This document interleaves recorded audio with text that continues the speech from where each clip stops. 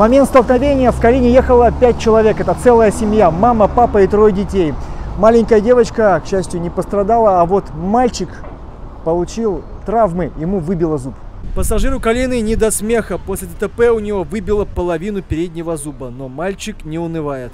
На место аварии водитель Ситроена вызвал скорую и полицию. Ребенка осмотрели медики, а шофер фургона признался сотрудникам ГАИ, что виноват в ДТП. Я пересекал Октябрьский, э, машина пропустила меня, не заметил, за ней, э, за ней другая машина ехала. Пропустили, думал, нет никого.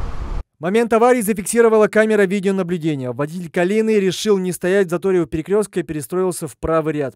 В это время Евгений на фургоне решился на маневр. Помог ему принять такое рискованное решение водитель грузовика Влад.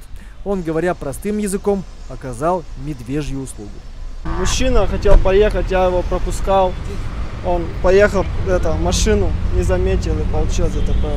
Да. Хотел как лучше, а получилось как всегда. Пока единственным пострадавшим в этом ДТП остается мальчик с выбитым зубом. Возможно, к нему присоединится его маленькая сестра. По словам матери, она не сильно ударилась головой. Михаил Вагин. Место происшествия.